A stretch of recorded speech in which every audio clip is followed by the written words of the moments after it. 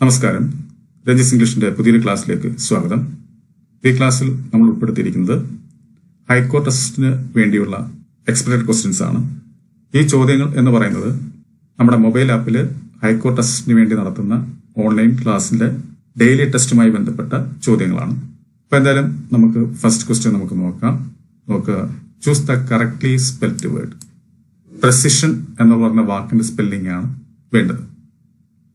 ഇവിടെ നോക്കുമ്പോൾ ഈ ബി എന്ന് പറയുന്ന ഓപ്ഷൻ ഇതാണ് കറക്റ്റ് സ്പെല്ലിങ്ങിൽ കൊടുത്തിരിക്കുന്നത്. ഇതാണ് പ്രസിഷൻ ഇതാണ് ശരിയായിട്ടുള്ള ആൻസർ അപ്പൊ പ്രസിഷന്റെ സ്പെല്ലിംഗ് എങ്ങനെയാണ്? P R E C I S I O N precision ഇതാണ് കറക്റ്റ് സ്പെല്ലിംഗ് ഇനി അടുത്ത ചോദ്യം.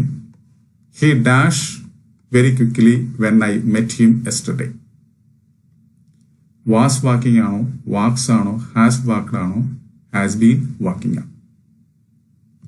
ഇവിടെ നോക്കുമ്പോൾ ഇവിടെ എസ്റ്റർഡേ എന്ന് പറയുന്ന വാക്ക് കൊടുത്തിട്ടുണ്ട്. ഈ എസ്റ്റർഡേ എന്ന് പറയുന്നത് എന്താണ്? ഒരു ടൈമിംഗ് വേർഡാണ് ഏത് ടെൻസിന്റെ പാസ്റ്റ് ടെൻസിന്റെ ഇപ്പൊ സ്വാഭാവികമായിട്ടും ഇവിടെയും പാസ്റ്റ് ടെൻസ് ആണ് വരേണ്ടത്. നമുക്ക് തന്നിരിക്കുന്ന ഓപ്ഷനിൽ ഹാസ് ബീൻ വാക്കിംഗ് എന്ന് പറയുന്നത് present perfect continuous tense walk എന്ന് പറയുന്നത് എന്താണ്? പ്രസന്റ് പെർഫെക്റ്റ് വാക്സ് എന്ന് പറയുന്നത് സിമ്പിൾ പ്രസന്റ് എന്ന് വെച്ചാൽ ഇവയെല്ലാം പ്രസന്റ് ടെൻസുമായി ബന്ധപ്പെട്ട കാര്യങ്ങളാണ്. നമുക്കിവിടെ വേണ്ടുന്ന പാസ്റ്റ് ടെൻസ് ആണ്. അപ്പൊ അതിൽ എ എന്ന് പറയുന്ന ഓപ്ഷൻ നോക്കുമ്പോൾ വാസ് വാക്കിംഗ് ഇതെന്താണ്? പാസ്റ്റ് കണ്ടിന്യൂസ് ടെൻസ് ആണ്. അപ്പോൾ പാസ്റ്റ് ടെൻസിന്റെ ഓപ്ഷനാണ് വരേണ്ടത്. അങ്ങനെയാകുമ്പോൾ ഇവിടുത്തെ കറക്റ്റ് ആൻസർ ഈ എ എന്ന് പറയുന്ന ഓപ്ഷനാണ് അതാണ് was walking he was walking very quickly when I met him yesterday ഇനി അടുത്ത ചോദ്യം. I am afraid he's dash stupid and won't understand what you mean ഇവിടെ fairly not not only rather ഈ ചോദ്യം എന്ന് പറയുന്നത് ഫെയർലി റാദറുമായി ബന്ധപ്പെട്ട ചോദ്യമാണ്. ഇവിടെ നോട്ടും നോട്ട് ഓൺലിയൊന്നും ആൻസർ ആയി വരില്ല. ഇവിടുത്തെ ചോദ്യം ഈ ഫെയർലി അല്ലെങ്കിൽ റാദർ എന്ന് പറയുന്നതിനെ വെച്ചുകൊണ്ട് നമ്മുടെ അറിവിനെ പരിശോധിക്കുന്ന ചോദ്യമാണ്. നമ്മൾ മനസ്സിലാക്കേണ്ട കാര്യം ഫെയർലിയും റാദറും. ഇവ തമ്മിൽ ചെറിയ വ്യത്യാസമുണ്ട് ഉപയോഗത്തിൽ. പദം പറയുന്നത് നമ്മുടെ അഡ്ജക്റ്റീവ് ഈ സ്റ്റുപ്പിഡ് എന്നാണ് ഇവിടുത്തെ അഡ്ജക്റ്റീവ് ഈ അഡ്ജക്റ്റീവ് ഓക്കെ? അപ്പൊ ഏത് അഡ്ജക്റ്റീവ് ആയിക്കോട്ടെ ആ അഡ്ജക്റ്റീവ് പോസിറ്റീവ് ഡിഗ്രി ആയിട്ട് നിൽക്കുന്നുവെങ്കിൽ എന്താണ്? പോസിറ്റീവ് ഡിഗ്രിയിൽ നിൽക്കുന്നുവെങ്കിൽ നമ്മൾ ഫെയർലിയും റാദറും ഉപയോഗിക്കുന്നത്. ഈ പറയുന്ന സെന്റൻസിന്റെ സാഹചര്യം മനസ്സിലാക്കിയാണ് അതായത് നമ്മൾ ഈ പറഞ്ഞു വരുന്ന ഭാഗം അതൊരു നല്ല കാര്യമാണെങ്കിൽ ഒരു ഫേവറബിൾ ആയിട്ടുള്ള കാര്യമാണെങ്കിൽ നമ്മൾ എന്ത് ഉപയോഗിക്കത്തുള്ളൂ? ഫെയർലി ഉപയോഗിക്കത്തുള്ളൂ. എന്നാൽ ഫേവർ അല്ലാത്തതോ മോശമായിട്ടുള്ള കാര്യം പറയുകയാണെങ്കിൽ നമുക്ക് എന്ത് ഉപയോഗിക്കാം. റാദർ ഉപയോഗിക്കാം. എങ്ങനെയാണെങ്കിലാ നമ്മുടെ ഈ അഡ്ജക്റ്റീവ് പോസിറ്റീവ് ഡിഗ്രിയിൽ നിൽക്കുന്നുവെങ്കിൽ ഈ സ്റ്റുപ്പിഡ് എന്ന് പറഞ്ഞ പോസിറ്റീവ് ഡിഗ്രിയാണ് അപ്പം അങ്ങനെയുള്ള സാഹചര്യത്തിൽ നമ്മൾ ഫെയർലി റാദർ ഉപയോഗിക്കുന്നത് ഇവിടുത്തെ സാഹചര്യം മനസ്സിലാക്കിയാണ്. നമ്മൾ പറയുന്നത് ഒരു അനുകൂല സാഹചര്യമാണെങ്കിൽ അത് ഫെയർ ആയിട്ടുള്ള കാര്യമാണെങ്കിൽ നമുക്ക് ഫെയർലി ഉപയോഗിക്കാം. മോശപ്പെട്ട കാര്യമാണെങ്കിൽ നമുക്ക് റാദർ ഉപയോഗിക്കാം.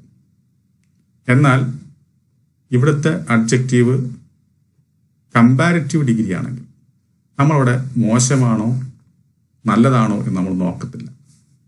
അതായത് മോശമായാലും നല്ലതായാലും നമ്മളവിടെ എന്ത് ഉപയോഗിക്കത്തുള്ളൂ? റാദറെ ഉപയോഗിക്കത്തുള്ളൂ. ഇപ്പം റാദർ ബെറ്റർ എന്ന് നമുക്ക് പറയാം. ആക്ച്വലി ബെറ്റർ എന്ന് പറയുന്നത് നല്ല കാര്യമാണ്. പക്ഷെ ബെറ്റർ എന്ന് പറയുന്നത് എന്താണ്? കമ്പാരിറ്റീവ് ഡിഗ്രിയാണ് അങ്ങനെ കമ്പാരിറ്റീവ് ഡിഗ്രി വരുമ്പോൾ നമ്മളവിടെ എന്ത് ഉപയോഗിക്കാവും? റാദറെ ഉപയോഗിക്കാവും. എന്നാൽ പോസിറ്റീവ് ഡിഗ്രി ആണെങ്കിൽ നമ്മൾ നോക്കണം. നല്ല കാര്യമാണോ? മോശ കാര്യം. നല്ല കാര്യമാണെങ്കിൽ നമുക്കിവിടെ ഫെയർഡ് ഉപയോഗിക്കാം. മോശപ്പെട്ട കാര്യമാണ് നമുക്ക് റാദർ ഉപയോഗിക്കാം. ഇവിടെ നോക്കുമ്പോൾ സ്റ്റുപ്പിഡ് എന്ന് പറയുന്നത് മോശപ്പെട്ട കാര്യമാണ്. അത് പോസിറ്റീവ് ഡിഗ്രിയുമാണ് അതുകൊണ്ട് നമ്മൾ ആൻസർ എന്ത് വരുത്തുള്ളൂ റാദറെ വരുത്തുള്ളൂ. ഇവിടുത്തെ correct answer റാദറാണ് I am afraid he's rather stupid and won't understand what you mean അടുത്ത ചോദ്യം. You will pass your examination if you dash hard ഇപ്പം എന്തുവരും ഇവിടെ വർക്ക് വർക്കഡുണ്ട് ഹാവ് വർക്കഡുണ്ട് വർക്കുണ്ട് വിൽ ഹാവ് വർക്കഡുണ്ട് അപ്പോൾ നമ്മൾ മനസ്സിലാക്കുമ്പോൾ ഇത് ഇഫ് ക്ലോസുമായി ബന്ധപ്പെട്ട കാര്യമാണ്. ഇവിടെ ഇഫ് ക്ലോസ് നമുക്ക് രണ്ടാമതാണ് തന്നിരിക്കുന്നത്. മെയിൻ ക്ലോസ് ആദ്യം തന്നിട്ടുണ്ട്. അപ്പൊ നമ്മുടെ ഇവിടെ ഇഫ് ക്ലോസിൽ എങ്ങനെ വരണം എന്ന് തീരുമാനിക്കുന്നത് നമുക്ക് തന്നിരിക്കുന്ന മെയിൻ ക്ലോസിനെ നോക്കിയാണ്. ഇവിടുത്തെ മെയിൻ ക്ലോസിന്റെ വെർബ് എങ്ങനെ വന്നിരിക്കുന്നത്? വിൽ പ്ലസ് വി വൺ ആണ് വന്നിരിക്കുന്നത്. Will or shall or can or may or must plus V one എന്ന രീതി വന്നു കഴിഞ്ഞാൽ നമ്മുടെ ഇഫ് ക്ലോസ് എന്തായിരിക്കണം? സിമ്പിൾ പ്രസന്റിലായിരിക്കണം എന്തായിരിക്കണം? സിമ്പിൾ പ്രസന്റ് അപ്പൊ നമുക്ക് തന്നിരിക്കുന്ന ഓപ്ഷനിൽ സിമ്പിൾ പ്രസന്റ് ചെയ്ത് അതായിരിക്കും ശരിയായ ആൻസർ ഇവിടെ വർക്കഡ് എന്ന് പറയുമ്പോൾ സിമ്പിൾ പാസ്റ്റ് ആണ്. ഹാവ് വർക്കഡ് എന്ന് പറയുമ്പോൾ പ്രസന്റ് പെർഫെക്റ്റ് ആണ്. വിൽ ഹാവ് വർക്കഡ് എന്ന് പറയുമ്പോൾ ഫ്യൂച്ചർ പെർഫെക്റ്റ് ആണ്. ഇവിടെ സിമ്പിൾ പ്രസന്റ് ഏതാണ്? വർക്ക് ആണ്. അപ്പൊ ഇതാണ് ഇവിടുത്തെ കറക്റ്റ് ആൻസർ അപ്പൊ വരും. You will pass your examination if you work hard എന്നുള്ളത് വരും. ഇനി അടുത്ത ചോദ്യം. We have a friend dash plays the piano അപ്പം എന്താ ഇവിടെ പറയുന്നത്? ഞങ്ങൾക്കൊരു സുഹൃത്തുണ്ട്. ആ സുഹൃത്ത് എന്ത് ചെയ്യാറുണ്ടെന്നാണ് പറയുന്നത്? പിയാനോ വായിക്കാറുണ്ടെന്നാണ് പറയുന്നത്. ഇപ്പൊ സുഹൃത്തിനെ കുറിച്ചാണ് പറയുന്നത്. സുഹൃത്ത് എന്ന് പറയുമ്പോൾ എന്താണ്? ഒരു വ്യക്തിയാണ്. ഒരു വ്യക്തിയെക്കുറിച്ച് പറയുമ്പോൾ സാധാരണ രീതിയിൽ നമ്മൾ ഹൂ ആണ് ഉപയോഗിക്കുന്നത്. ഹൂ അല്ലെങ്കിൽ ഹും അല്ലെങ്കിൽ ഹൂസ് ആണ് ഉപയോഗിക്കുന്നത്. ഹൂ നമ്മൾ ഉപയോഗിക്കുന്ന എപ്പോഴായിരിക്കും? സബ്ജക്റ്റ് ആയിട്ട് നിൽക്കുന്നു.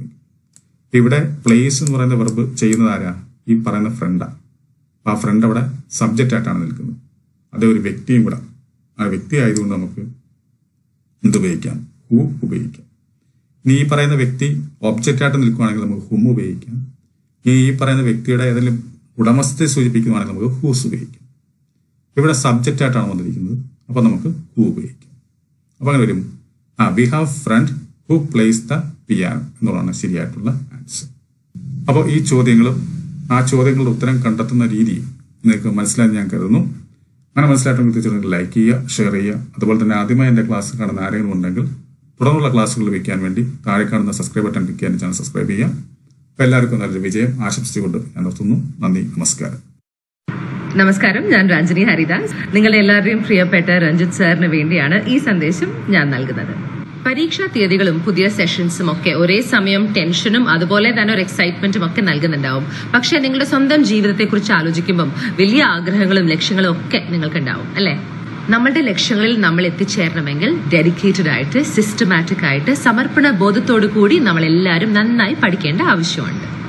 നിങ്ങളുടെ മാതാപിതാക്കൾക്കും അധ്യാപകർക്കും അഭിമാനിക്കാവുന്ന വിജയം നിങ്ങൾ നേടുക. കൂടാതെ ഈ ഒരു പ്രതിസന്ധി ഘട്ടത്തിൽ നിങ്ങളുടെയും നിങ്ങളുടെ കുടുംബത്തിന്റെയും ആരോഗ്യത്തിൽ ശ്രദ്ധ പുലർത്തുകയും ചെയ്യുക. ഒരിക്കൽ കൂടി നിങ്ങൾക്ക് എല്ലാവർക്കും എന്റെ എല്ലാവിധ ആശംസകളും.